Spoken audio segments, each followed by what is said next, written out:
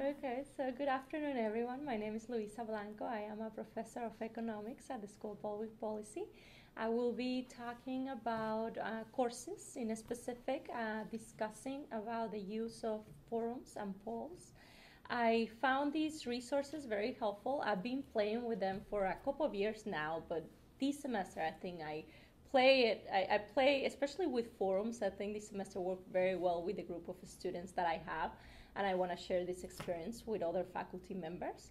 So pretty much, I guess courses has been very helpful for me. And I, I first I want to mention a little bit about how courses is really a great feature you can use. I think there are these traditional, I like to call it traditional features of courses, uh, which relate to using courses um, to post resources, um, using courses to post grades for the class. And then also something that I've been doing in the last couple of years is that I have weekly announcements about what is going on in every specific week. And I usually find that very useful for my students. For example, I'll quickly show you that. You can see here for my global economics class, uh, we pretty much have an announcement for each week. Uh, I usually send it like the week before, right? And then the students know uh, what are we covering, right? And then, for example, in resources, you can also see here that I have a folder for each week, right? And then there I post um, the, the files, the PowerPoint presentations that we're using. And I found that students really like that because they, well, they're very computer savvy, right? They're always looking at the computer and they want to know what is going on with the class so they can easily go back to uh, to courses anytime they want right and they can be okay so what i what I, what do i supposed to be doing next week you know what assignment i need to submit right? So i will say the traditional features of courses have been very useful for my classes because they really help me um, to keep myself organized and to keep us students organized. So they are great resources right? But today you know i want to tell you more about what i call more like uh, non-traditional features of, of courses, which I think are related to these the use of technology to try to engage students in the conversation. And the reason why I try to use technology in the classroom, and, and I know maybe some faculty will relate to this, is that um, students um, are so good with technology nowadays, right? And they want their professor to use technology. I feel that it's more like a, a student driven use of technology and then I find that sometimes, right, technology is great uh, because the students can take notes in their laptops, right? They can access the resources I post for them. But then at the same time, right, technology can be a little distractive, right? Uh, we can see how students, it's easy for them, you know, to be in the lecture and then get a little bit distracted. So that's one thing that keep me thinking about, well, how can I use technology to my advantage, right? Because I have to be honest, sometimes if I am at a lecture and I have my computer on, I can also get distracted. So I try not to blame the students, right? And I try to relate to them that technology is a great resource, but then at the same time, it can also be distractive, right? So I think that finding um, the way to interact with the students with technology is a great resource to keep them engaged, right? So I think something that I've been exploring with is the use of forums and polls uh, because I think um, they are very. Um, like the students feel very well with these type of resources. That's what I find out. I mean, it's, it's, it's natural to them to be working with these with these resources, and I'll, I'll show you in more detail a little bit, right? But uh, forums, uh, I'll start talking about forums. Uh, forums have been have been a great resource for me for my class because it really helped me to engage students in the conversation in the classroom, but then also outside of the classroom. So what I figure out, especially this semester, which is a semester I have been using forums the most, is that students really like them forums. Like students really like this form of communication, which I was very surprised of. Um, I was very surprised because they do a great job. Uh, for example, with the forums, um, well, it's very easy to use these features, right? I will say, I'll show you quickly, but uh, I'm sure if you need any assistance uh, on how to create forums and how to create uh, the polls. Uh, the IT department will be great. Uh, they have been very helpful to me. So I will say they'll be helpful to you if you have any questions. But quickly, you know, I'll just show you. So usually for your course, you can see the forum feature and the poll feature, uh, the polls feature, but you have to activate that. That's not going to come at the beginning of the semester. So you have to go to My Workspace Then here you go to worksite setup.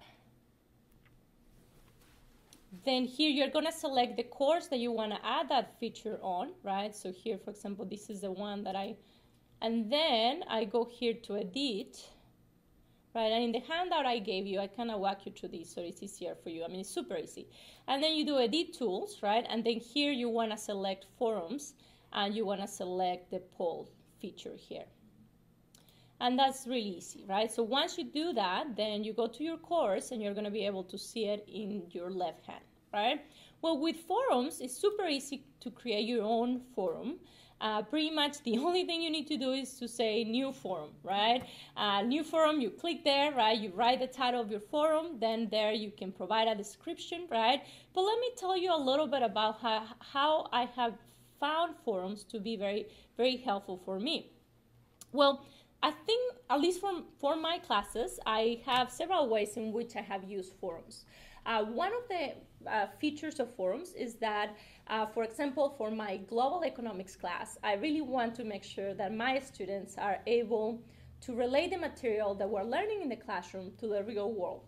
So therefore, with the forums, it has been a great resource. Uh, for example, you can use these to ask students to find an article, right, related to the class material and be ready to discuss in class, right? So for example, if you look here, I have um, student selected articles, right? I created that forum, right? And I say here, please add a link or a PDF uh, file for the article you will discuss in class. So I'll show you quickly some screenshots, right? I don't want to show you my students. Uh, I want to make sure you know that I protect my students' confidentiality. So I'm just going to show you here, for example, when I did that activity, so that one about, let's see. So this one is student selected articles. Let me see. So here, for example, this is the form I created, right? And I say, please, before, before we meet next class, make sure you post an article, right? And be ready to, to discuss briefly about uh, what is important about that article, you know, and how it relates, relates to the class material. So therefore, right, so I have that in my forum. And then here you can see all my students' contributions, right? They all put an article there, right? And then here, you know, I guess it's kind of cute that you can see their conversation too, right? I say, hey, everyone, I found this article. It's very interesting. It talks about the European Union, and I hope you enjoy it, right? And then you have other student here, you know, say, have a wonderful weekend. I mean, it's kind of like a way to communicate with the group, which I also found very interesting that it creates this new dynamic where you communicate, right? I mean, are your classmates, Is your professor, right? So it's a is this kind of is, is this interaction that is, is very different that I was not as used to before. And then here, right? And then you can see how, you know, each of the students will provide their their different uh, resource to be able to discuss in class, right?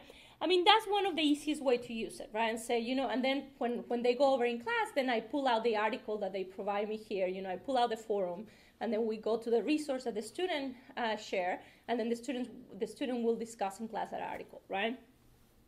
So then, for example, I mean, this was uh, one of the most interesting experiences with my students using the forums. So here at Pepperdine, we had the Council of American Ambassadors, and it was a conference, right? And we made it a class activity. So I thought the forum was a great opportunity for me to learn uh, what they learned at this council. And then also, you know, well, you know, I, I, I didn't I didn't pass roll at the council, right? So this was a great opportunity for me to say, well, you know, once we once you attend the council, I want to get your feedback and see what you learned, right? So here, for example, I say Council of American Ambassadors, right? And they they went there, and then here I just kind of give them these questions, right? And say, well, you know, what was your uh, what what caught your attention there? You know, actually, this this conference was about North Korea, so it was very focused on North Korea.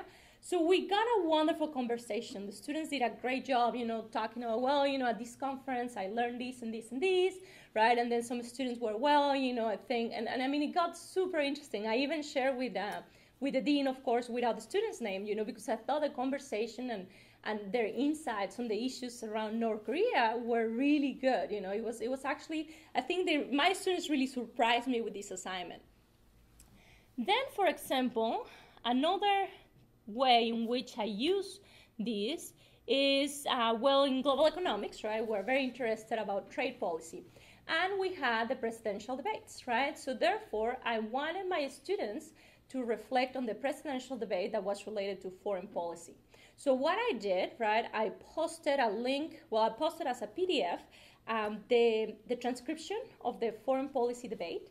And then I, I told the students, right, there were these two, three questions. I guess I focused on two questions from the presidential debate. And I say, there were these two questions that they were brought up to the candidates, right? Um, give me what do you think about their answers, right? Uh, how would you answer that question if you were running for president, right? And actually, you know, it was so interesting to see their, their, the students' response in this activity, right? Then another example that worked very good was here. For example, here. Now, you know, I did this po I did this forum like on week, I guess it was uh, it was last week, right?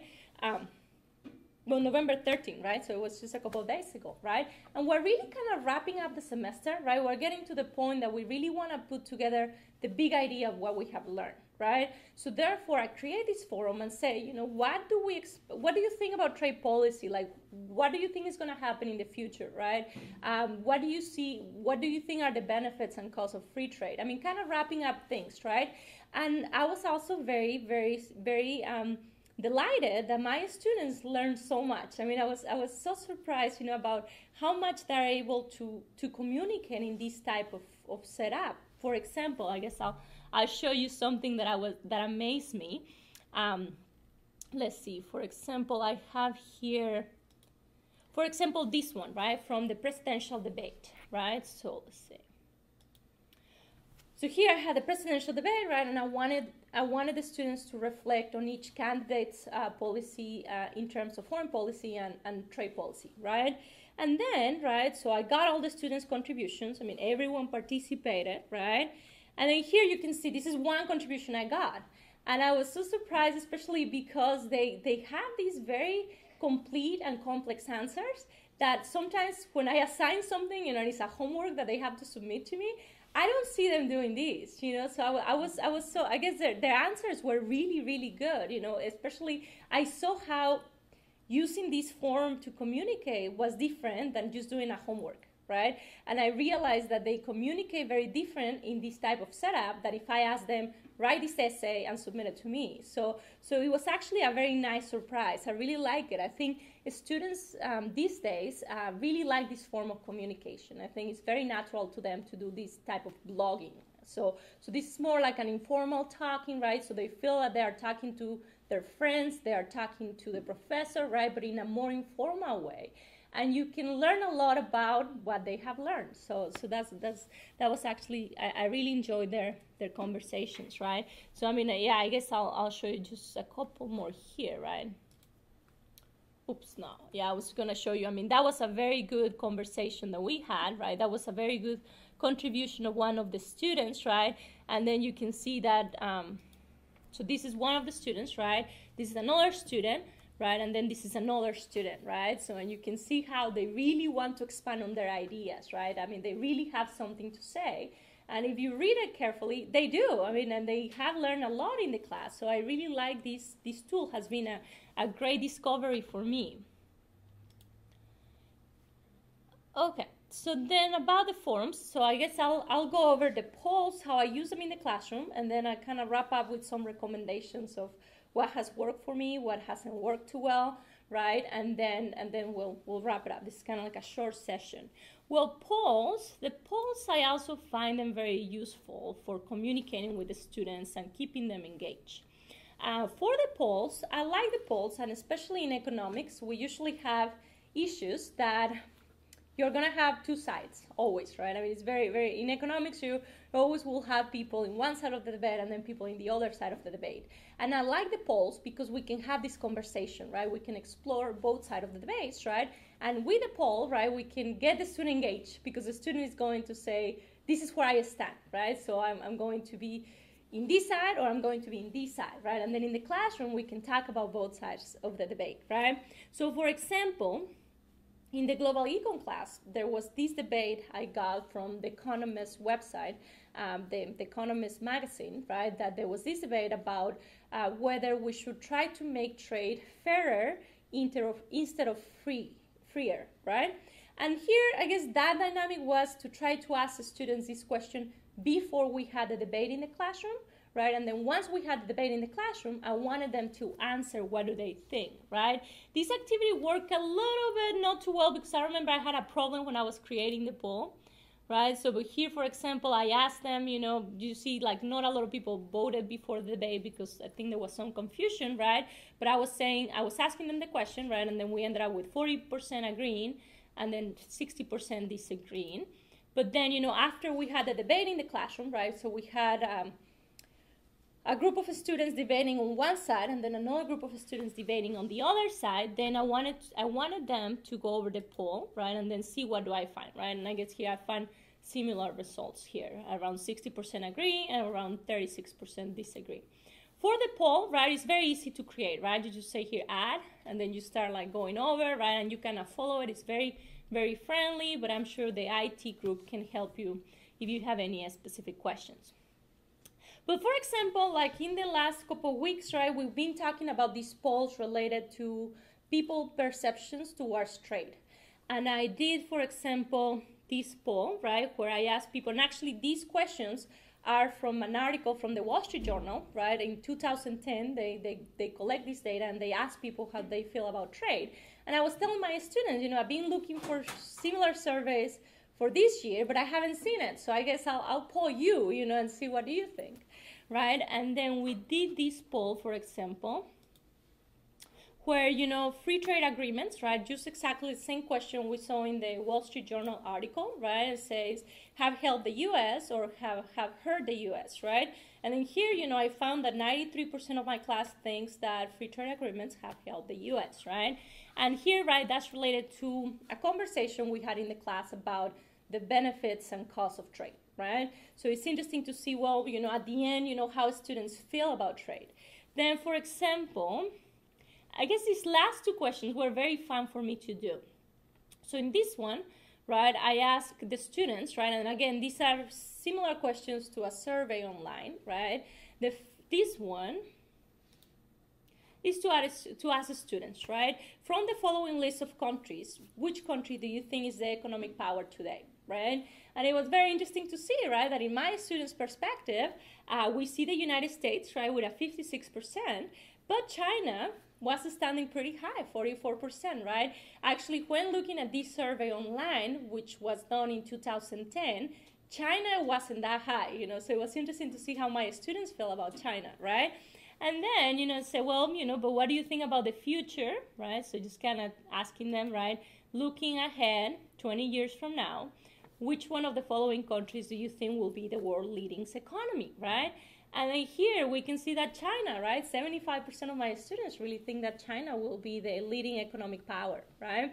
And again, right, you have these polls, right? And then you can get the conversation going, right? Well, why do you think that China is going to be this economic power, right? Why do you think it might not be the case, right? That China is why why why we might not see that China being the economic power, right? Why we might see the United States, right?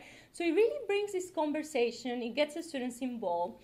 It's very natural to them. For example, I, rem- I, I, I remember that that day that we were doing these surveys, um, these polls, one of my students didn't have a computer. I said, oh, you know, you you you want to do it? You don't have your computer? And she's like, oh, I can do it in my cell phone no problem. And then she just pull out her cell phone and starts doing the poll, you know? I say, okay, you know, it's great. And I mean, and they really want to be part of the poll. So, so it's very interesting to see how technology is very natural to them. I mean, it's, it's nature and, and they are really good at, at technology.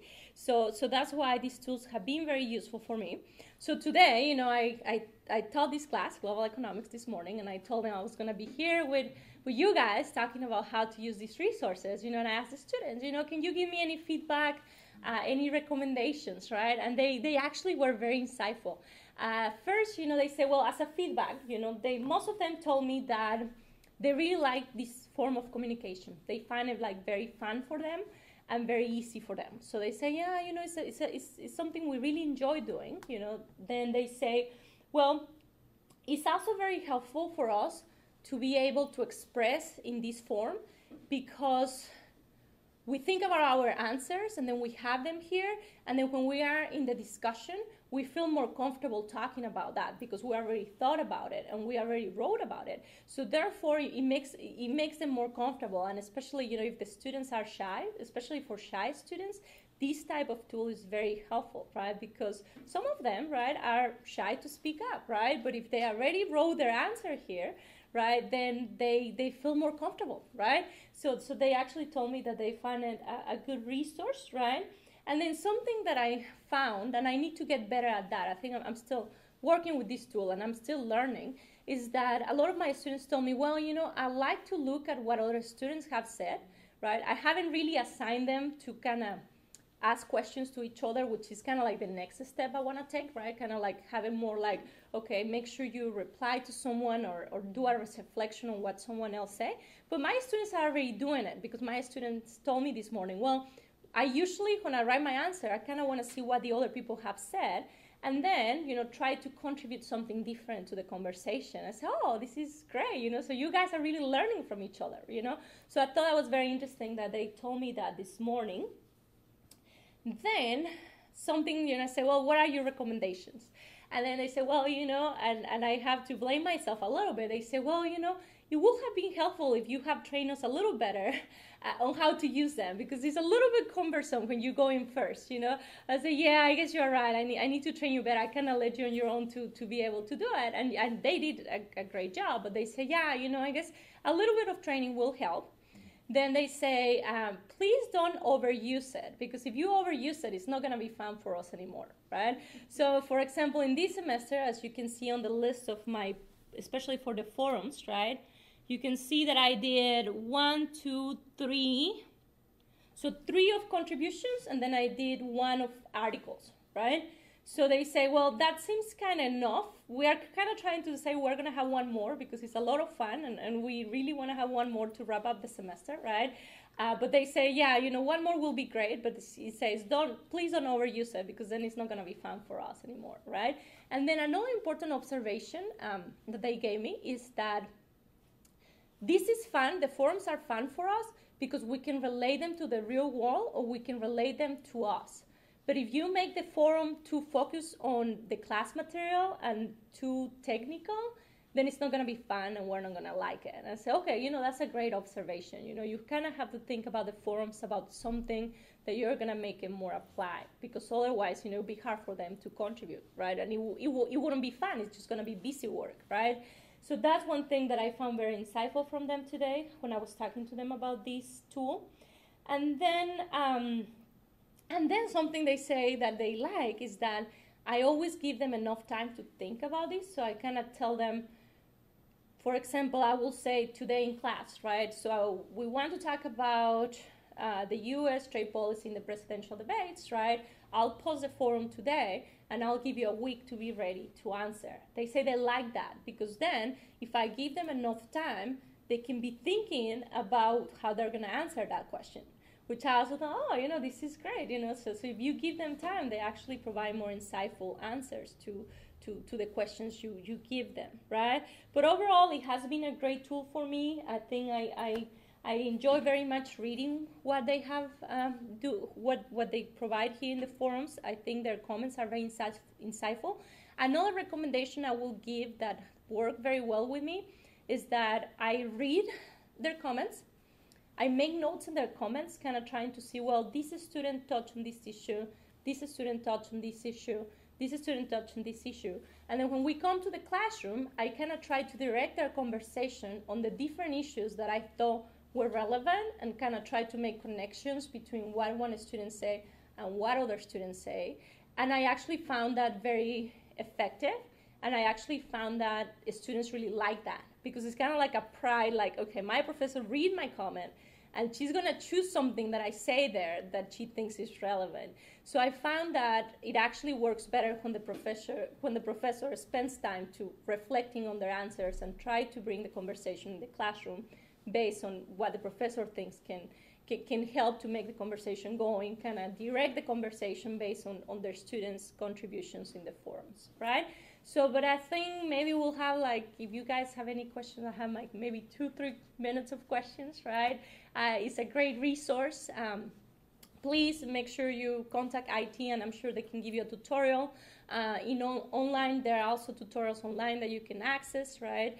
Uh, but but for me, it has been a great resource. I have discovered uh, that my students are learning a lot, and I actually feel that this has been a great exercise, and I'm very happy that I. Um, that I'm using it uh, for this course, and I hope I continue to use it and I continue to learn how to use it effectively because I think I'm still learning. So, thank you. What's the balance that you've found between, um, say, you were talking about written essays that you've had them turn in Mhm. versus using the forum? Was it just kind of like, just find, how have you found that rhythm between using the forum for them to respond to Mhm. specific questions versus like essays that you're having them write? Yeah, I mean, I still have the homework portion of the class, you know, where they have to write essays and answer to me, and I still mm-hmm. have the exam portion where they have to write essays, right? I think if you want to use the forums, it's more for conversation and discussion in the classroom. At least for me, that's the way that it works. So you kind of have to keep this balance and say, well, you know, if I'm going to use the forums more for in-class discussion, at least that's how it works for me, right? And then keep a balance in the sense that um, what my students told me today, right? Don't overuse it because then if you overuse it, then it's it's not going to be fun for us anymore. So I will say that you know when it, so I wouldn't uh, yeah I mean here you see that I haven't used it that much and probably if I do another forum for for the final week which I want because it's fun and my students are already thinking about what they want to do the last forum on and, and, they're giving me some ideas that's that's actually very interesting that they they like it and they are saying oh you know we should talk about this. Um, I really want to be careful that I'm not overusing this and, and, and I don't make this like busy work for them. You know, it's more like a learning experience for everyone. But you're right. I mean, the balance is uh, it's hard and it depends from professor to professor, I think. But I will suggest to use this more as a conversation going instead of making it more like a homework part. Do you find them making connections with like how they're responding in the forums and how that contributes to the discussions versus say if they've had an essay or written assignments, homework assignments Mhm. due, and then they've come to class Mm-hmm. with sort of Yeah. the same discussion in mind, have you found like a, a relationship between those two, whether or not they're more responsive after they've done a form, sort of this blog kind of response versus when they've been working on a more formal writing? Yeah, that's that's a good observation. I feel that this blog, I mean this because it's kind of like a blogging, right? It makes them more comfortable mm-hmm. to talk in the classroom. It makes them more comfortable to bring ideas in the classroom, right? And it kind of complements like more the formal essay writing that you do in a homework or that you do in a test, right? So it's kind of like a complement. What I do in my class is that I have a percentage of my grade that goes towards participation. And if I keep doing this, I will probably maybe increase the percentage that I give on participation because if I can see that they are really learning, you know, through this tool, then then that's that's great. But no, I do see that the dynamics change where the student feels more comfortable and more more more more I guess they, they feel more comfortable to to engage in the conversation in the classroom. So at least that's my perception. But then I can say that it also depends on the group you have, right? I mean, I guess I feel that I have used this tool before a little bit in other classes, and it hasn't worked as well as this year. And it actually has to do with the mix of the students you have as well. So I wouldn't be surprised that if I try this again next semester and I get a different mix of students, I'm not sure how it's gonna work. I mean, I'm not sure if I'm gonna get this as much as as insights. I mean, I don't know if it's gonna work as well as it's working this semester. So, but I'll give it a try. You know, I guess I'll give it a try and then see how it goes. I assume the students can identify each other's comments by Yes. name. Yeah. Uh, can- Do they get to monitor the poll at all, or is that only for you? No, they get the results. So usually with the poll, you have the option to make the results available to students after they submit their vote, or at the day of the uh, the day of you close the poll. So the students are able to see it. I usually show it in the in the board, right? Kind of like the way that I show it to you, and then we kind of go over the results. Oh, you know, this is surprising. You know, a lot of people think that China is the economic power nowadays. You know, so um, so no, the students get the poll results, and then something good point that you raised, uh, uh, thinking about this idea of students being able to read other students, right? For example, when I talk about the presidential debates, you know, I was very clear in my assignment, right? I say, well, let's make sure we have a conversation about politics in a respectful way and that we agree and disagree together. You know, I think with this forum, it's also important to to um, to emphasize to students, right, that it's a great tool, and that but we need to make sure that we are respectful, and that we we might be able to disagree. I mean, it, it will be good to to disagree, right? And let's just make sure we do it respectfully. So so I think that's another good point that we need to emphasize when we use this type of tools. it's for the forums. Good questions, yeah. Have you been able to compare your students today who use this poll hmm versus your, the students before you Yeah. have not? Whether there's any clear distinctions? Well, I noticed, especially in my macroeconomics class that I teach in the spring, I start using the polling. I guess now I have a couple of years using the polls. Um, I found, especially like I do the polls for that class more towards the end of the semester when we talk more about the debates in, in, in terms of macroeconomic policy. But I found that they really like it. I mean, I guess I haven't been able like to look at their grades or anything, but I found that um, at the end of I found I found that they feel more engaged. So they do the poll, right? And I usually like do, okay, I'm gonna give you a couple minutes to do the poll right now. And they just go in their computers, you know, and they do the poll and like, okay, everyone, and they're like, oh, hold on, hold on, you know, I'm still doing it, I'm still doing it. So then, you know, and then once they do it, then I show the, the results on the on, on the board, right? And then a lot of people say, oh, interesting, you know. So so so in some way, I feel that they, once I introduce the polls, I feel them more engaged and then they it's not only me lecturing but it's more like okay i want to see what you have to say. I want to see the feeling about the class right? And then also you know i think they like to see how i mean they also want to see how their students how the other students think you know? They also want to see okay so who thinks that china is going to be the economic power? Oh 50% of the class thinks that. Oh interesting you know? So so i think i it helps to engage them. And uh, so yeah, just to keep them engaged, I have seen a difference. Like if I just talk about these different economic debates without the poll, I can see them getting a little lost. But then I bring the poll and say, okay, now you vote and tell me what do you think is better, and then they go and vote, right? And then I, later we see the results. So so it helps to keep them engaged, and they like it. So okay, good. Okay, thanks. Thanks for your questions. Thanks for coming.